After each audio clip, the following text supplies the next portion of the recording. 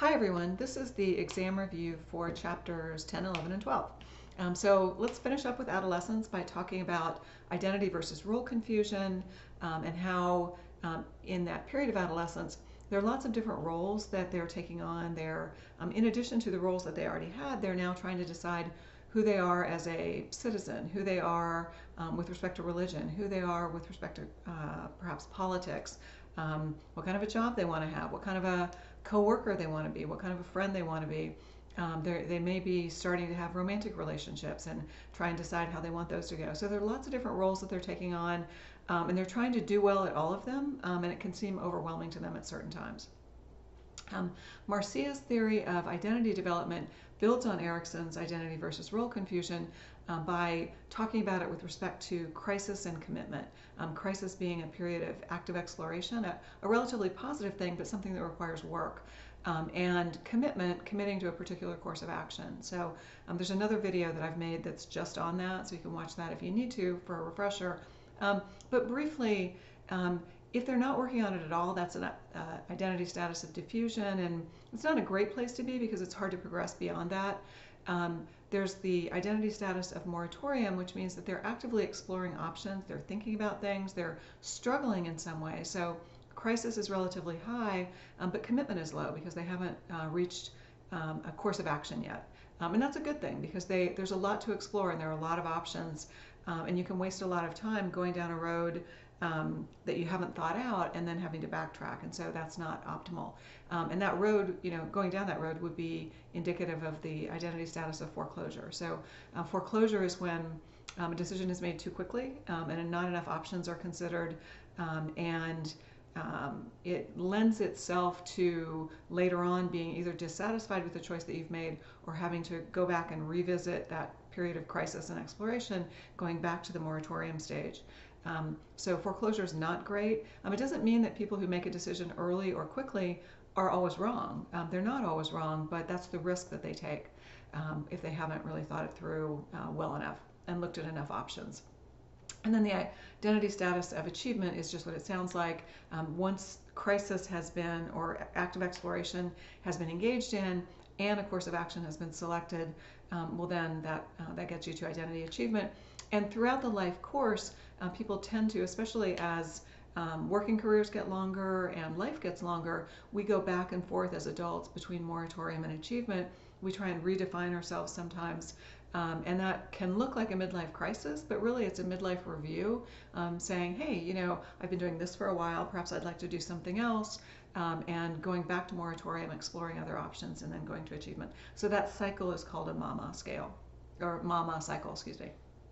Um, and then the last thing that I wanted to talk about in this chapter um, is that concept of adolescence limited offenders and life course persistent um, offenders. Um, when I ask students in class to uh, confidentially or anonymously um, say you know anything that they did as an adolescent that they wouldn't do again, um, they write them on cards and, and I mix them all together with several class sections. And what I get is a really long list of uh, things that are against the law. Um, most of them are, are relatively minor, but um, but they're still against the law. And if they were caught, um, depending on how they were treated, um, if uh, if they were given a warning, or if they were given a ticket, or if there was a punishment that didn't involve being incarcerated, um, then it's likely that they would remain a uh, adolescence limited offender, and after age 21 would not continue um, to break the law in that way. Uh, for life course persistent offenders, though, that's a different trajectory. Um, and that leads to, or that is um, descriptive of um, individuals who continue to um, break the law and continue to um, be in trouble with the law as adults. so that's the difference there. most adolescents who break the law do not go on to become an, uh, a life course persistent offender. so just keep that in mind as you're thinking about that.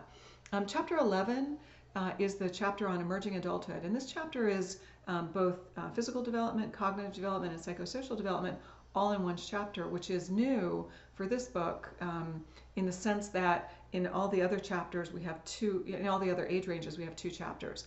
Um, and the reason for that is this is a relatively recent carve out for the lifespan.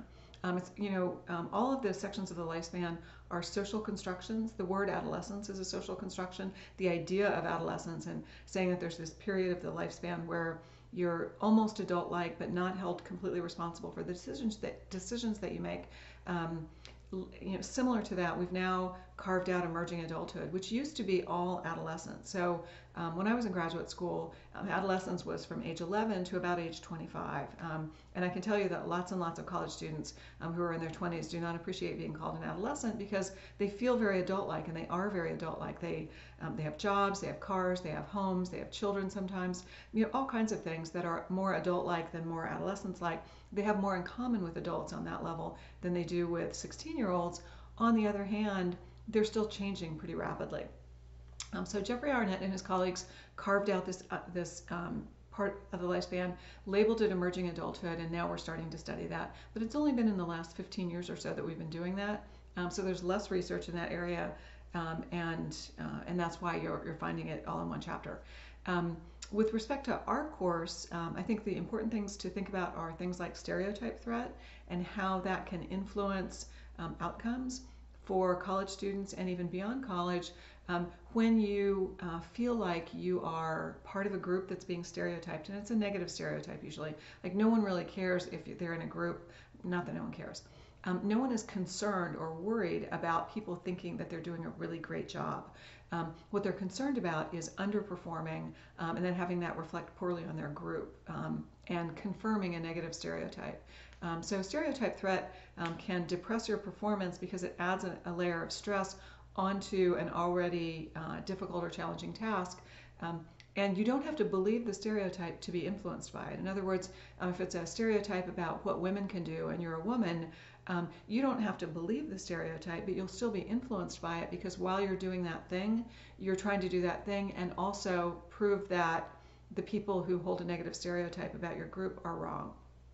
So, um, so that stereotype threat, that's the work of um, Claude Steele and Joshua Aronson um, and their colleagues, and um, very interesting research.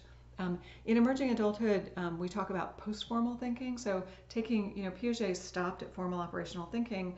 now you have post-formal thinking, which adds another level of complexity onto the way that uh, that we are thinking about the world, thinking about um, logic and possibilities, hypothetical thinking.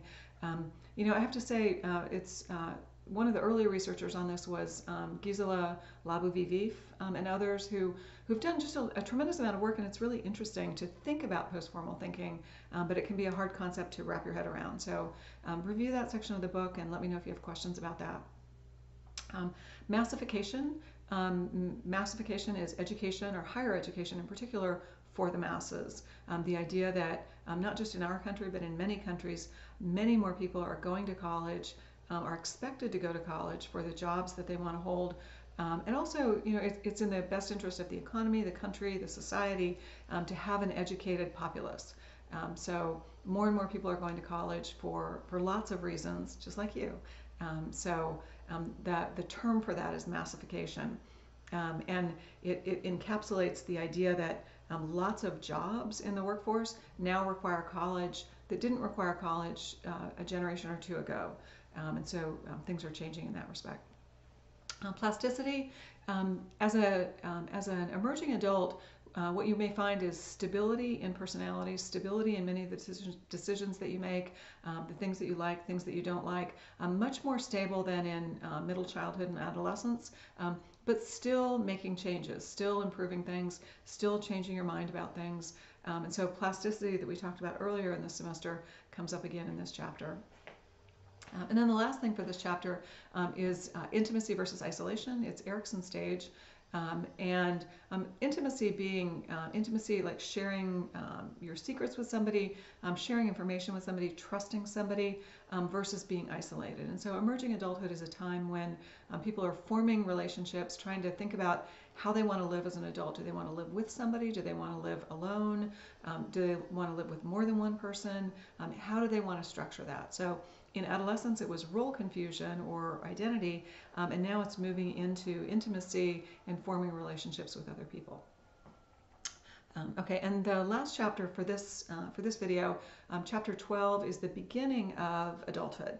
Um, and in adulthood, um, it starts out by talking about um, and defining the term senescence. Um, senescence is a word for the inevitable biological aging that we all go through. Um, so you're starting to see it in adulthood, and it's something that will continue through the end of the lifespan, and so we'll continue to talk about it. So um, that comes up early in this chapter, and I think it's an important term um, because it reminds us that there are certain aspects of aging that we can't do anything about. Um, that that uh, that train is moving forward, so to speak, um, and uh, and we're on it, whether we want to be on it or not. Um, with respect to intelligence, um, in the cognitive development section, um, the author talks about um, Spearman's G. So this is the general theory of intelligence, the idea that there's a, a, general factor for intelligence, and that uh, when you think about how smart somebody is, they are smart at, or you know, they're, they're accomplished or they're achieving at a particular thing. And Spearman's theory says whatever they had chosen to do, they would have done well at that. So if somebody is an astrophysicist or a dancer or a basketball player or a um, biologist, um, all of those things uh, are, are great things. Um, and they require this level of general intelligence. And to the extent that you excel, you'd be high in those things, um, but you would have been high in whatever you chose. Um, and so that's the general theory of intelligence. Um, we also talk about fluid and crystallized intelligence. Fluid intelligence being quick thinking, um, you know, novel approaches to things, creativity. that tends to peak early in adulthood and decline somewhat over the rest of the lifespan. So, as a 25 or a 30 year old, somebody might be at the peak of um, their fluid intelligence, um, and then that would decline not dramatically, but decline gradually over the rest of the lifespan. That's in contrast to crystallized intelligence. So, crystallized intelligence, if you think about forming crystals, crystals don't go away. Um, crystallized intelligence doesn't go away. It's your accumulation of knowledge um, over the course of your lifespan. And whatever it is that you know and know well now, you can expect to know at the end of your life. Um, dementia or memory loss um, is not a normal part of aging, so it's you know it's a disease, and some people get it, um, but most people don't. And um, and so crystallized intelligence um, uh, increases throughout the rest of the lifespan. So that doesn't it does not decline. Um, Sternberg's tri- uh, triarchic theory of intelligence um, is based on the idea. And so these are competing views of intelligence, just a different way of looking at it, asking and answering different questions, but all around the topic of intelligence. Um, Sternberg's theory was that there are three kinds of intelligence. Um, a practical intelligence, sort of, you know, just street smarts, you know, you know, what can you do on the fly and, you know, and, and how good are you at that? Are you the person that somebody would want with them um, if they were stranded on a desert island? So that would be practical intelligence. Also, creativity, um, coming up with new solutions to things and just being a, an out of the box thinker. Um, and then analytic thinking, which is typically what, uh, what um, is measured in school. So, people who are really good at analytic thinking or high in analytic intelligence from Sternberg's perspective um, are people who are doing well in high school, they're doing well in college, they're doing well in graduate school. Um, they can, you know, they're book smart. Um, so there's book smart, street smart, creative, um, a, you know, a, a, a, different way of looking at intelligence than just having it be one general factor. And Sternberg thought that everybody had some of all three, um, but that they could be higher or lower um, in different capacities, um, and, and that that was a good way to think about intelligence. Um, Schaie's longitudinal study, um, the Seattle longitudinal study, um, I've talked about it in an earlier exam review, and, I, and we've already talked about it in class. Um, this came up with respect to cross-sequential research in one of the early chapters. Um, but the, you know, the takeaway message from the Seattle longitudinal study is that in contrast to uh, to cross-sectional comparisons. So comparing a 60-something person to a 30-something person and saying, hey, it looks like there's loss between 30 and 60. Um, and when they did that across a number of, uh, of uh, cognitive abilities, what they found was that many things tended to peak in their 20s and 30s and decline for the rest of the lifespan. And that was a relatively pessimistic view of aging uh, in the second half of life. Um, but but at the time, what they want the question was, is it an accurate view? Like it doesn't matter if it's optimistic or pessimistic if it's right. Um, and so what they did was they um, created this longitudinal study where they followed people across time. So the difference between you and me is our age groups, but it's also you don't know how I was at your age. And so if you say the difference between a 30 year old and a 60 year old um, is, you know, there's a gap of this much, you don't know what this 60 year old was like as a 30 year old, so you don't really know how much I've lost unless you've done a longitudinal study. Um, so what they did was uh, longitudinal research uh, where they followed people across time, they followed adults across time. Starting in 1956, every seven years they studied those people again and then added a new cohort in. So it enabled them to do those cross-sectional comparisons among age groups. Also to follow people across time to see how people were changing across time and not just in comparison to another age group. And then also to see how age groups are changing across time, that cross-sequential element. So what, what were 25 year olds capable of in 1956? What were 25 year olds capable of seven years later and 14 years later and 21 years later and so on? Um, so lots of different ways of being able to um, dissect the data um, and come up with, uh, with other uh, explanations for how cognition is changing um, in the adult lifespan. Um, and what they found was um, the cross-sectional studies always showed uh, decline in almost everything. Um, but that the, uh, the longitudinal answer was very different, and that was um, that things were relatively stable. In fact, some of them increased across the adult lifespan. Um, and you started to see declines um, more visibly in the 60s um, and even more so in 70s, but it wasn't until about 80 that you saw a really sharp decline. And that's a very different story than saying you're at your peak at 25 and it's all loss after that. The one exception to that is speed of processing. And speed of processing is biologically based.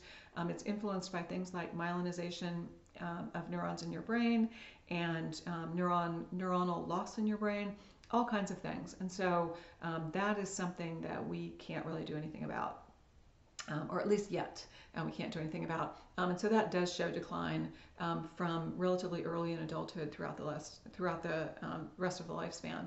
Um, but for the other uh, mental abilities, there's a, an amazing amount of continuity, stability, and even growth in some areas. So that was a very different story, and that's based on their data, and that's an ongoing study. Um, emotion focused and problem focused coping, um, different styles of coping with adversity. Um, emotion focused coping is your best bet when it's something that you can't do anything about. So if there's a problem that, that uh, is it needs to be coped with, so it's usually something negative, um, then uh, coping with it using an emotion, if, if it's something that you can't do anything about, um, well, you can't do anything about it, but you can make yourself feel better. So um, you can remember more positive things about it, or you can look at pictures, or you can eat ice cream or go for a run. Um, none of that changes the underlying problem, but it can make you feel better about it. So that's emotion focused coping. The contrast to that is the style of problem focused coping. If it's something that you can do something about, then your best bet is to address the problem, break it down, um, use whatever problem solving strategies are available to you to address the underlying problem. So different, uh, different strategies um, for coping with adversity. Uh, selective optimization with compensation, um, the theory of Paul and Margaret Baltes. Um, and that's the idea that as we age, there are things that are going to change, um, and we're not going to necessarily be able to do everything that we did as a young person as we get older. So um, at 60, you may be able to do all the things that you were doing at 30, but you may not be able to, and that varies. Um, that's an, uh, a within individual variation. Um, so, um, so what do you do about that? Um, well, in terms of successful aging, one approach can be select out of the things that you can still do, the things that are important to you, optimize those to compensate for things that you can no longer do. And an example of that might be um, somebody who really likes sports, who likes to be um, super active, might not be able to do all the things that they could do before. Perhaps they aren't as good at um, squash or handball. Perhaps they're not, you know, their eye-hand coordination isn't what it was, um, so they don't feel like they can play at the level that they were playing before. Well, they can choose another sport that requires less eye-hand coordination or perhaps less speed. Um, uh, reading. Um, if people um, really like to read, um, they can listen to audiobooks um, if uh, vision is a problem for them. Um, so, you know, there are all kinds of ways that we compensate for changes both in uh, physical aging but also in cognitive aging, oops, sorry, to optimize uh, what we can do and compensate for things that we either can't do or can't do as well as we did before. and then lastly, automatic and intuitive thinking. Um, you know, we've talked about this before. Um, the idea that um, there's certain things that we just uh, we're not even we're not even aware of what we're doing. We just um, we just uh, feel like something is right. We feel like it's the right answer, um, and often that is based on a lot of processing going on in our brain that we're not consciously aware of. Um, and so sometimes though, into those intuitive the conclusions that are based on intuitive thinking can be correct. Um, and, and they're correct based on a lot of data um, that's being worked on in your brain, but it's being worked on so quickly um, that you're not consciously aware of it. So um, just an interesting thing to think about when you um, think about how we make um, snap decisions and then um, try and correct for them or try and do more work when we have the time to do it. So um, that's it for chapters um, 10, 11, and 12. the next uh, video will be for chapters 13, 14, and 15, and also that epilogue chapter, the uh, I call it chapter 16, but the book calls it the epilogue. So, all right, thank you. Bye.